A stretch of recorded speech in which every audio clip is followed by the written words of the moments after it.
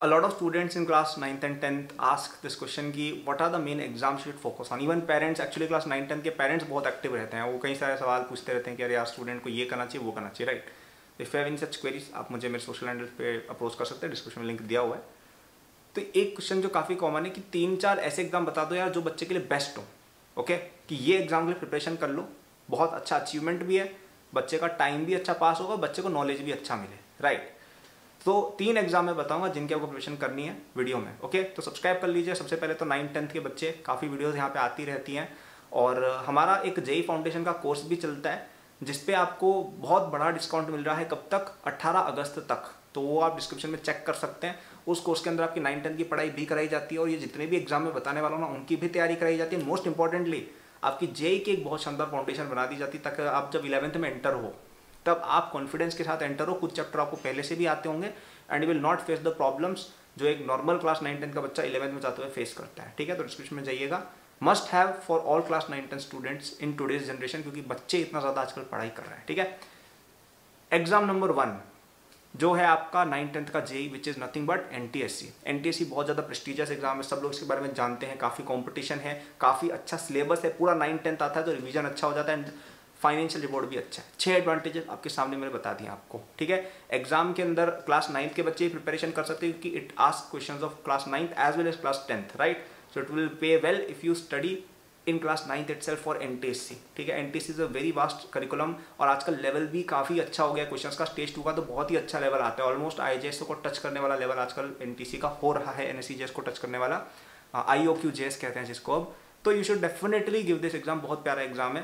और इसके अंदर स्कॉलरशिप आपको मिलती है। मुझे याद है कॉलेज में मुझे twenty four thousand rupees per year की स्कॉलरशिप मिलती थी बीटेक के दौरान। और जब आप पीएचडी वगैरह करते हो तो it increases even more okay तो काफ़ी अच्छा फाइनेंशियल पे आउट भी आपको मिलता है। अगर आप ग्रेजुएशन तक काउंट करें तो आपकी लेट से आप आईआईटी में एडमिशन करते हो एम में तो ग्रेजुएशन तक आपके पास लगभग एक डेढ़ लाख से ज़्यादा की स्कॉलरशिप इकट्ठी हो जाएगी which is a great amount right it can help you set off your student loans और it can help you pay your college fees या आपको कुछ और हायर स्टडीज़ करनी है। तो फाइनेंशियल रिपोर्ट भी काफ़ी अच्छा है इसका। और इसकी प्रेस्टीज है, ठीक है? एनटीएससी को लोग जानते हैं। लोग केवल दो एग्ज़ाम को जानते हैं, इंडिया में जे और एनटीएससी और एक नीट ऑब्वियसली नीट भी है। बस इन तीन चार एग्ज़ाम को ही लोग जानते हैं। अदरवाइज़ आप आई जे एस हो या K P Y K P तो हालाँकि अब बंदी हो गया है। तो इन चीज़ों को लोग यूजली इतना रिकॉग्नाइज नहीं करते हैं जितना एनटीएससी को करते हैं। ओके गवर्नमेंट का एग्ज़ाम भी है तो काफ़ी अच्छा रहता है। It is a very good resume point आपकी प्रोफ़ाइल में अगर एन स्कॉलर लिखा हुआ है, आपकी एक सर्टेन वैल्यू अपने आप बिल्ड हो जाती है। ओके तो the exam to give second exam will be I J S O international junior science olympiad जिसको अब आई ओ क्यू जे एस के नाम से जाना जाता है फ़र्स्ट स्टेज पहले N A C J S कहते थे। इस एग्ज़ाम के अंदर आपको class ninth usually class ninth के बच्चे दे सकते हैं कोई कोई टेंथ के भी दे सकते हैं ओके तो आप वो डेट ऑफ़ बर्थ पे डिपेंड करता है तो थोड़ा चेक कर लीजिएगा एग्ज़ाम की वेबसाइट पर जाके कि क्या एलिजिबिलिटी क्राइटेरिया है। ये एग्ज़ाम अच्छा क्यों है? क्योंकि इससे आपकी जेई की प्रिपरेशन बहुत ही अच्छे लेवल पर हो जाती है और नीट की प्रिपरेशन स्पेशली अगर आप करने वाले हैं तो वो और ज़्यादा अच्छी हो जाती है। इसमें फिजिक्स केमिस्ट्री और बायो आती है of a very high level okay बहुत अच्छे लेवल की आती है इसके अंदर क्लास आप कह सकते हो almost eleven twelfth level touch करते हैं तो जेई की अर्ली प्रिपरेशन के हिसाब से it's a very good exam okay अगर आप एक ऐसे बच्चे हो जो अच्छा कर रहे हैं अपनी एकेडमिक लाइफ में और आपको चैलेंज चाहिए तो this is the examination for you ठीक है? कई लोग आरएमओ का भी रिकमेंडेशन देते हैं बट आरएमओ को मैं इस लिस्ट में इंक्लूड नहीं करूँगा।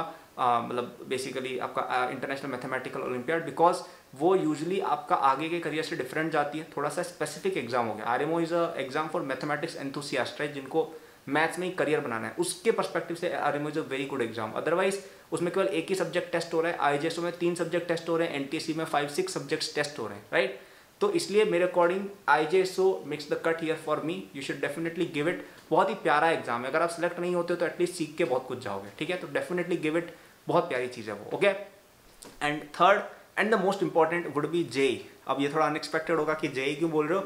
बिकॉज़ आई थिंक जेई एक ऐसा एग्ज़ाम हो गया जिसकी प्रिपरेशन आज से क्लास नाइन टेन से करना has become compulsory see this is not the twenty tens any more कि आप क्लास इलेवन ट्वेल्थ में पढ़ रहे हो और आपका जेई निकल जाएगा। आजकल कॉम्पिटिशन हद पार हो चुका है। अभी जैसे I been mentoring students for a while right so I noticed कि फाइव ईयर्स बैक 2017-18 में यूजुअली लोग इतना कॉम्पिटिटिव नहीं होते थे इलेवन ट्वेल्थ में ही शुरू कर देते आजकल तो क्लास टेंथ के बच्चे इतनी ज़्यादा पढ़ाई करते हैं। Half of the subscribers of this channel are studying H C Verma right now right तो इतना ज़्यादा कॉम्पिटेटिवनेस आ चुकी है।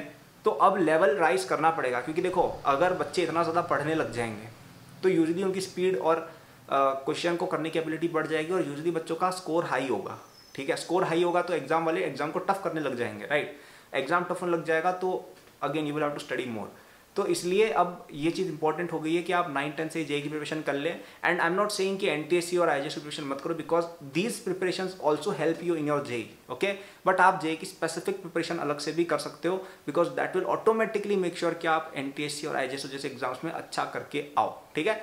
तो अगर आपको J preparation N T preparation I preparation एक साथ करनी है इन अ वेरी एफिशिएंट वे तो आप हमारा जेई फाउंडेशन कोर्स चेक कर सकते हो.